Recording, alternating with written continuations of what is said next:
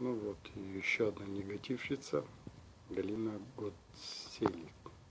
Ну, под ником, может, тоже лживая книга. Ужас неприятно смотреть. Порядок во дворе, средневековый центр. Прихорашивается внутри ужасно, да, вот. Жизнь ваша, Галина, если, конечно, это Галина, точно превратится в ужас – целительский канал не надо писать таких комментариев. Ну, в мы отправим. И на корм русалочкам тоже.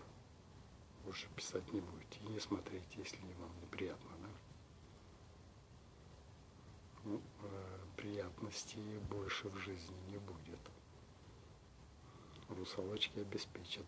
Это, да, и сильфы, и саламандры. Потому что всем этим духом, стихийным духом, вы пойдете в жертвоприношение.